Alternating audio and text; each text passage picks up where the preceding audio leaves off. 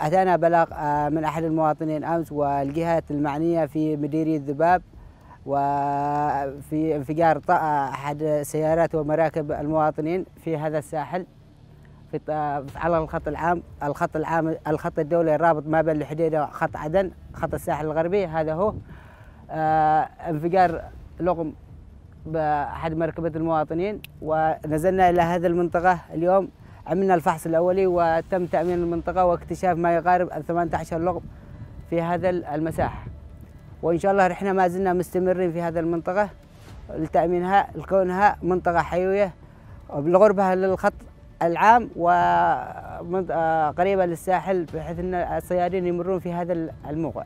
نأكد لكم أن إحنا مستمرين لتطهير هذه المنطقة حتى نصل جميع المناطق. وإن شاء الله سوف نوصل خير مسام إلى جميع المناطق الموبوءة بالألغام. ونأمنها في هذا الساحل بالذات في الساحل الغربي. وإن شاء الله ندخل الحديدة بشكل عام ونأمن تياغ الحديدة والمناطق الموبوءة كامل.